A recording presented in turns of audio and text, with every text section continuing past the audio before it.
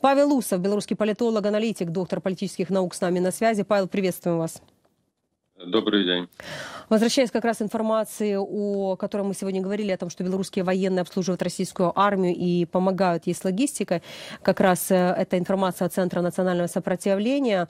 А, здесь есть такая цитата, хочу ее прочитать. «Это и есть кремлевское братство, где местный является обслугой для старших братьев, прибывших для обеспечения власти московского ставленника». Ну, на самом деле, действительно, все не так просто. Э, Лукашенко не делает, и все просто для того, чтобы каким-то образом да, скажем так, э, э, преклониться перед Путиным, он это в первую очередь, судя по всему, делает для себя. Как вы и с чем связываете э, вот эту информацию о том, что в оккупированной Беларуси местная армия обслуживает российские оккупационные войска? Так начинается как раз эта информация. Оккупированная имеется в виду Россией. С чем вы это связываете? С тем, что Лукашенко побаивается, что может что-то происходить на территории самой Беларуси? Э, вы правильно отметили, Беларусь оккупирована. Так? Если Беларусь оккупирована и стратегический политический контроль осуществляет за территорией Беларуси Россия, то Лукашенко немного имеет э, каких-то возможностей этому сопротивляться или э, сохранять автономию политическую или стратегическую в тех решениях, которые принимает Кремль. И на положение Беларуси необходимо смотреть системно. Э, то, что Россия вводит, выводит э, войска, это не определяет, или какой-то контингент военный, это не определяет э, состояние и положение Беларуси в целом. Во-первых, остается очень много военно-стратегических объектов и инфраструктуры военной на территории Беларуси, российской, которую Россия использует для размещения своих вооруженных сил. Это Э, базы э, в Зябровке, в Лунинце, с которых осуществлялись в первый период э, войны против Украины вылеты российских истребителей, бомбардировщиков с территории Беларуси. К сожалению, российскими войсками осуществлялись запуски ракет по территории Украины. И в целом ничего не изменилось, и ситуация еще более ухудшилась, если принимать в расчет тот факт, ну, по крайней мере, исходя из тех заявлений, которые делает э, московское руководство и Лукашенко, на территории Беларуси появились, появилось ядерное тактическое оружие. Вы вспомнили про Искандеры. Искандеры именно те носители, которые Россия использует или заявляет, э, что будет использовать для нанесения тактических ядерных ударов либо по территории Украины, либо по территории Э, близ лежащих э, стран Литвы, Латвии и, и Польши. Э, кроме того, ну, вы знаете, что с лета на территории Беларуси остаются контингент наемников российских вагнеровцев, хотя часть их была передислоцирована в саму Россию и воссоединилась с вооруженными силами Российской Федерации. Часть была отправлена в Африку, особенно ситуация изменилась после смерти э, Пригожина, удачного приземления. Тем не менее, э, тем не менее, часть э, вагнеровцев остается в качестве консультантов для вооруженных сил Лукашенковской армии и плюс для спецподразделений внутренних войск, которые активно могут использоваться как для подавления протестов, скажем так, или каких-то непредвиденных акций внутри Беларуси, так могут использоваться в рамках каких-то военных соединений э, против э, или в организации провокации на границе с Украиной или с другими странами, как это, в принципе, ожидалось летом 2023 года. Так что в целом,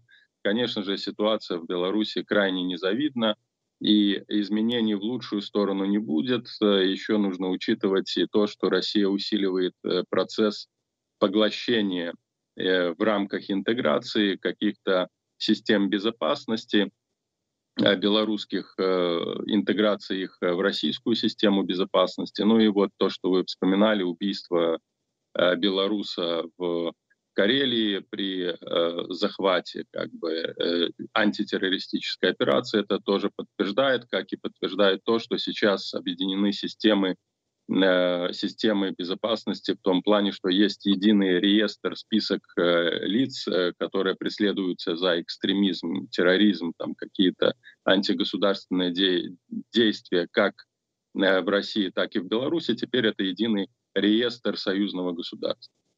Павел, еще один аспект, э, скажем так, делая обзор событий, произошедших на территории Беларуси. Э, Александр Лукашенко снова заявил о выборах, кокетничал. Я бы, наверное, так сказал, потому что неделю тому назад он говорил о том, что пойду, пойду на выборы, все окей, все хорошо.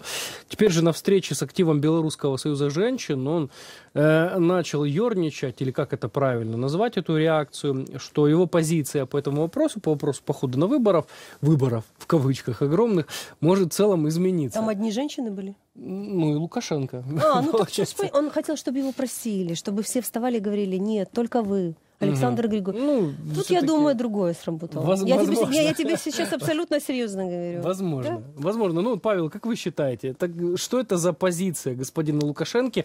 Хоть чтобы его просили, наверное, или как это, как это понять? Я, я абсолютно согласен э, с вашей коллегой. Просто вот э, замечание в точку. Вот именно психология диктатуры, сказать, ну, я еще подумаю, а вы меня попросите, поумоляйте, куда же мы без вас? Что же Беларусь будет без вас делать? Такая, такое трудное положение, ситуация, а вы собираетесь уходить? Нет, конечно же, Лукашенко сам э, не уйдет, и даже эта мысль никогда в его голове не появлялась. Э, э, даже так условно, он не для того проливал столько крови в Беларуси после 2020 года, да, и до 2020 года, к сожалению, об этом мало вспоминают, а белорусы также не все помнят, что э, в 90-х годах, в начале 2000-х годов были физически ликвидированы оппоненты Лукашенко, э, генерал, бывший МВД, министр, его ближайший соратник Гончар, который организовывал ЦВК и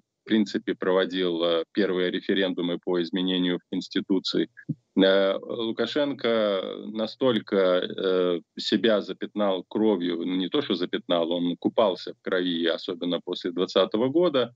Не для этого система настолько мощно сконцентрировала, сконсолидировала все ресурсы после 2020 года в подавлении всего того, что является альтернативой. Не для этого Лукашенко продавал Беларусь России, чтобы она ее использовала в качестве плацдарма для атаки на Киев, чтобы потом поднять руки и сказать, что я ухожу, потому что для него уход от власти, как и для Путина в том числе, равносильно физической смерти.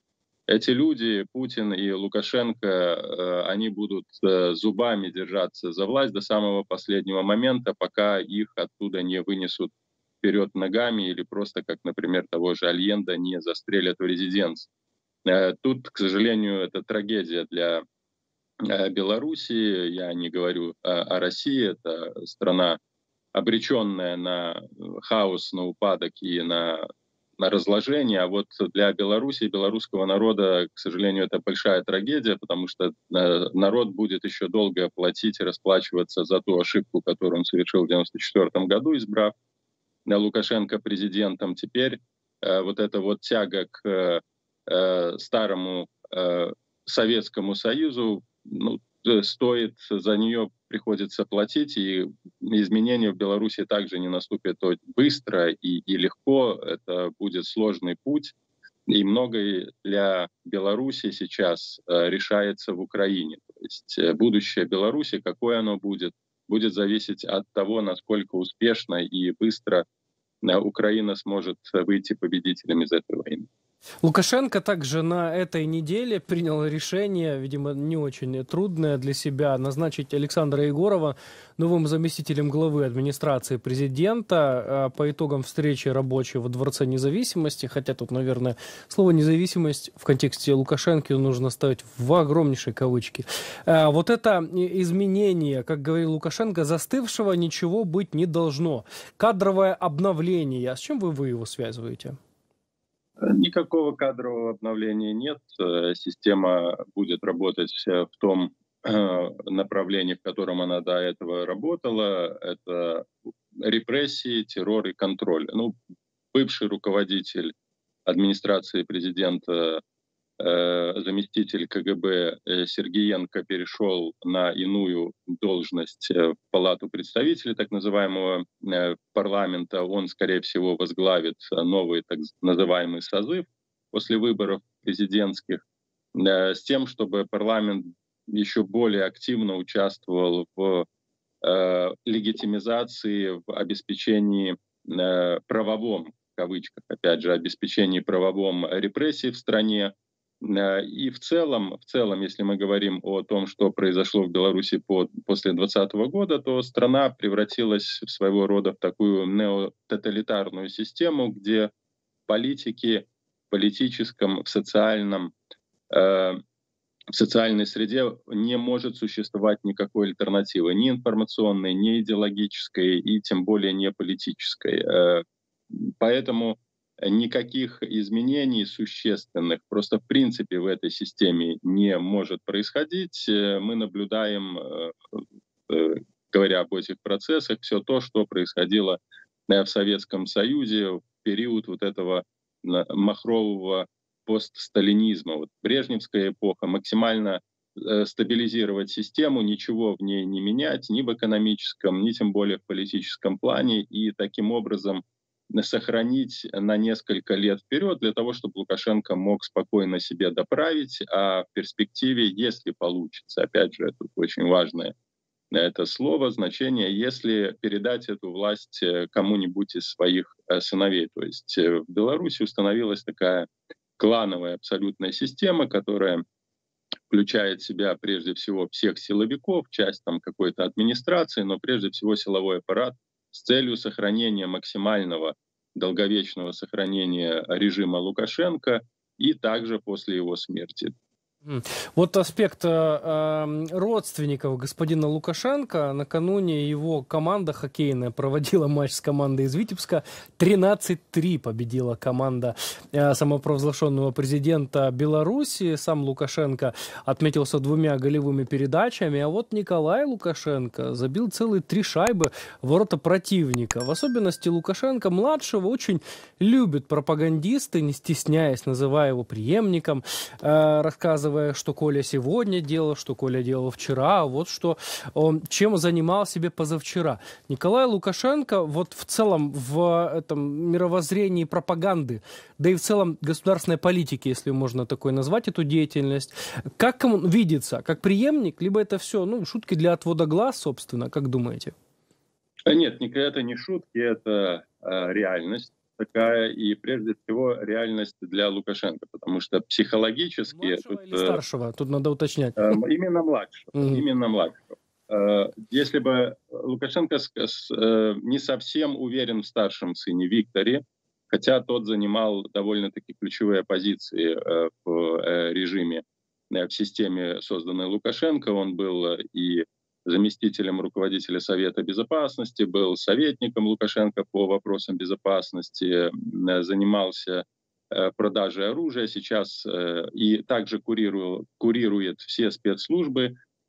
Кроме того, он является ключевой персоной в теневых сделках режима Лукашенко, прежде всего с Саудовской Аравией, куда поставляется довольно много вооружений из Беларуси в обход всех санкций. И таким образом клан Лукашенко обогащается. То есть он не, не последняя фигура. Но в политическом смысле почему-то Лукашенко не очень видит Виктора э, как будущего руководителя. Он сам неоднократно говорил о том, что ну, он не подходит, э, именно Виктор. Видимо, в силу каких-то психологических особенностей, косноязычия, он не, не, не, не имеет той хотя бы такой примитивной э, харизмы, которая, которая имеется у Лукашенко. А вот э, Николая целенаправленно готовит. Э, в него Лукашенко инвестировал все, что можно было бы взять от э, государства. Учеба, да, он умеет там играть хорошо на фортепиано, знает китайский язык, его там репетиторы обучают всем только э, чему можно. Вот э, э, не, не так э, Лукашенко его возит с собой на все ключевые мероприятия и встречи с Путиным, Си Цзепином, э, с шейхами арабскими и так далее. То есть там очевидно вот идет вклад в его инвестирование политическое с тем, чтобы сделать преемником. Но тут есть очень важная Э, важный вопрос, вопрос э, возраста. Э, то есть для того, чтобы Николай мог занять хотя бы более, более или менее значительные политические посты там, в так называемой партии Белая Русь или хотя бы войти в парламент или куда-нибудь в администрацию, он ну, должен иметь, по крайней мере, там 25 лет хотя бы, чтобы начать активную политическую жизнь. Для этого Лукашенко необходимо продержаться у власти именно, чтобы потом хоть как-то каким-то образом э, э, реализовать механизм э, транзита еще лет 7. Э, до 30 -го года это как минимум, а до 35 -го года это как максимум. Угу. Но это не шутка. Действительно, психологически Лукашенко хотел бы, чтобы Николай стал его преемником и получил Беларусь в наследство. вопрос Павела. Хотят ли белорусы, чтобы Коленька был следующим президентом? Хотя, возможно, это упразднят эту уже позицию. Э, Спасибо вам огромное. Долго Беларуси. можно говорить. Да Спасибо еще о старшем не закончили. Да там еще же Дмитрий есть, есть сын. Ну, ладно. А, не будем об этом. Есть о чем еще поговорить. Павел, обязательно увидимся. Павел Уса, белорусский политолог, аналитик, доктор политических наук, был с нами на связи.